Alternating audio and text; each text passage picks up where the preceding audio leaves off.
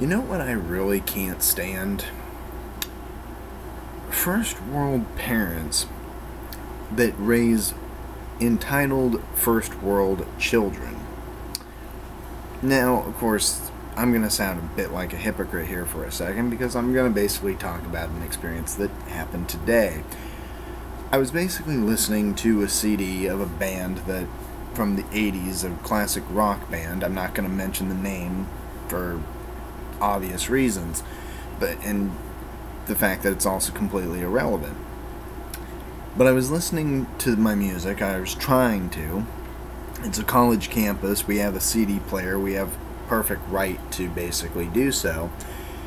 And these high schoolers basically came up, kids between, I would say, the ages of about 15, 16, somewhere along in there, typically the age of 14 to 18 years old.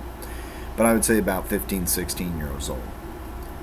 And proceeded to continue to overstep their bounds and con- and thought that they had some sort of privilege to not have to listen to this or some privilege of not having to even ask somebody if they can turn it off did not go to any authority did not go asking anybody that worked in the cafeteria did not you know ask you know whose music that possibly was just proceeded to continue to turn off the music simply because they did not like it. I confronted them because obviously it's my music, it's my property. It, I bought it. It's I own I, I own the CD itself. I own you know I own that copy of the CD. I don't own the intellectual copyright or the music in it, but I own the copy of that CD because I went out and bought it with my own money. Now, I confronted these people on at least once or twice. I basically, on the final occasion, informed them that this is my this is my music. That could they please refrain from turning it off or turning it down because this is for the enjoyment of anybody that wants to listen to it. And if they don't like it, they don't necessarily have to be there and listen to it. And somehow they thought somehow I'm forcing it down their throat, which is completely ridiculous. So essentially, what ends up happening is that these individuals take it upon themselves to not only pull the plug on the music, but take it the take the CD and throw it in the trash. Again, these individuals did not have the respect to even come up and ask me if it was, you know, if it was okay to turn off my music they did ask me to turn it down, to which I told them no, because at that point they had already escalated it to a situation where I wasn't going to have it.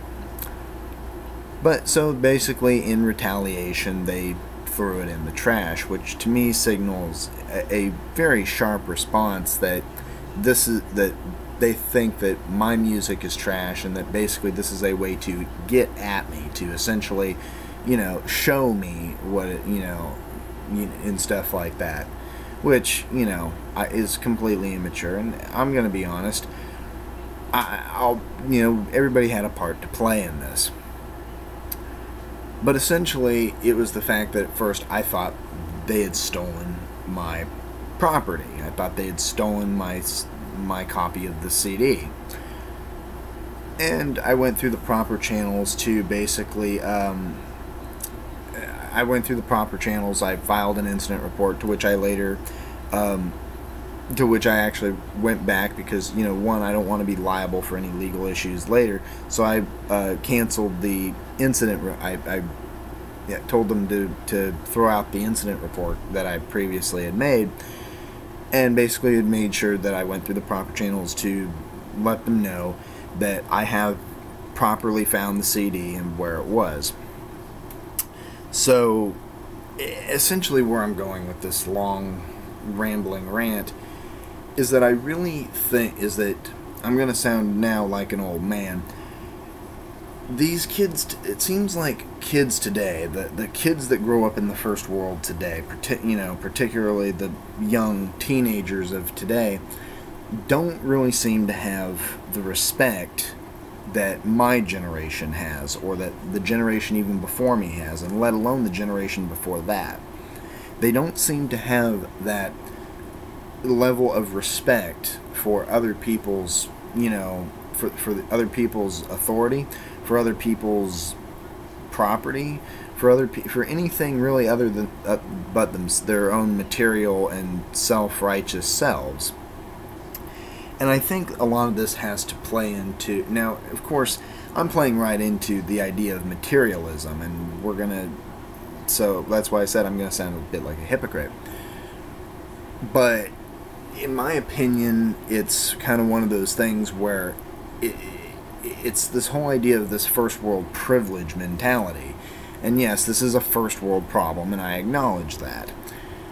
But at the same time, it's the fact that the because of these first world, the, this first world problem would not even be an issue if there was not this overwhelming level of first world privilege. And this is the one big problem is that there's such a we live in a time of of consumer capitalism and we have ever since the 1920s but we live in a in, in a very consumerist materialistic sort of uh, way of life and we are very privileged to live in the position that we do. And with all acknowledgments from off the backbone and benefit from imperialism but it's the problem with the growing number of kids today that are very bourgeois reactionary and you know think oh we're so rebellious we're so you know we're going to be the next generation to do this and blah blah blah. We're the next group of revolutionaries. We're the next group of this. And no it's just the same old cycle. It's the petty teenage drama and bullcrap and immaturity that I had when I was their age, and the same bullcrap immaturity that my parents had and that my grandparents had, and, and so on. It was it's the same thing. It's just the level of materialism and consumerism, and outright just bourgeois, you know, reactionary first world privilege that continues to grow. And one of the biggest problems is the way the very I would say the very liberal aspect that the lack of discipline that children these days are given. They're allowed to run amok and do all kinds of and basically do all kinds of BS with very little, if any, sort of consequence.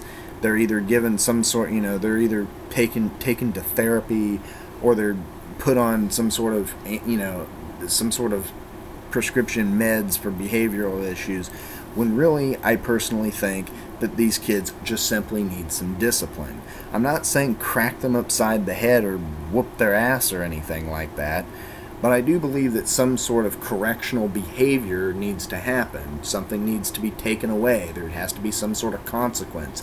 Don't just feed them pills and feed them junk food or take them to therapy, though for some it actually that can be partially a benefit, but it does not necessarily solve the, the issue itself.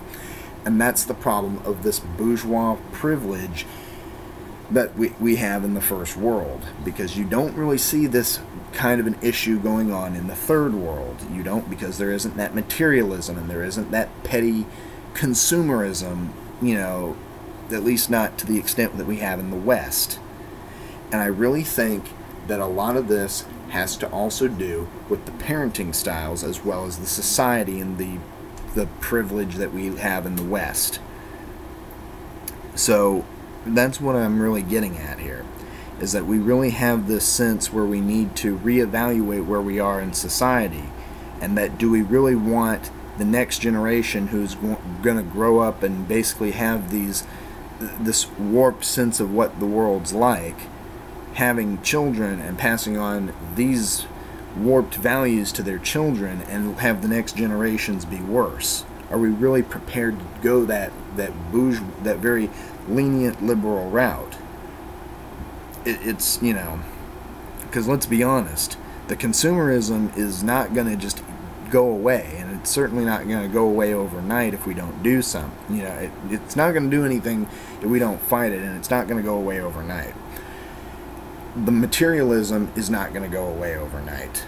And the privilege, fuck, the privilege isn't even going to go away and go or go away overnight. You know, we have to fight in order to better ourselves, and we have to, and sometimes that's taking a step back or at least taking a look back and re-examining the way that we discipline children and gaining some sort of respect back in our society. So, again, I may sound like a hypocritical old man, you know, at 24 years old, and sometimes, believe me, I feel like I'm 24 going on 70. But I just needed to let that off my chest because that was personally a view of mine that I kind of came across, kind of thinking it over after the little incident I had today. So, and not only that, it's a college campus. Grow up, and you're in a big boy game, and you have no, and because you're on a college campus and you're a high school student, you don't have the right to basically do what you did. I'm sorry, that's just not the way the world works. Anyway, I'm NorCal Nick, leader of the revolutionist movement. Just letting off a little rant. This has been NorCal Corner. Later.